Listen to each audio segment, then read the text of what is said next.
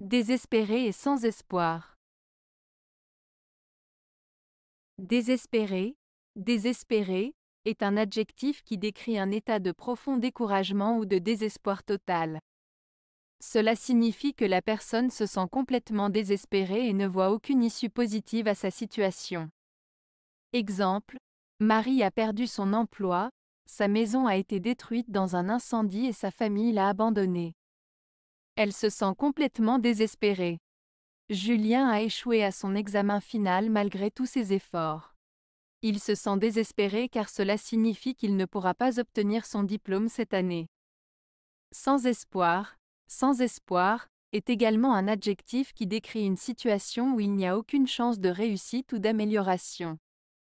Cela signifie que la personne ne nourrit plus aucun espoir quant à l'issue favorable de la situation.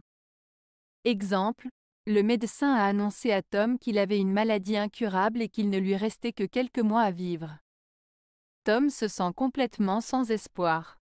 Sarah était en prison depuis de nombreuses années et espérait être libérée un jour. Cependant, sa demande de libération anticipée a été refusée, et elle est maintenant sans espoir de sortir de prison avant la fin de sa peine. La principale différence entre désespéré et sans espoir réside dans la perception de la personne face à la situation.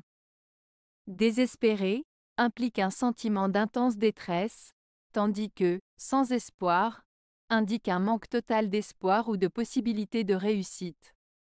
En d'autres termes, être désespéré signifie être accablé par le désespoir, tandis que être sans espoir signifie ne nourrir aucun espoir quant à une issue favorable.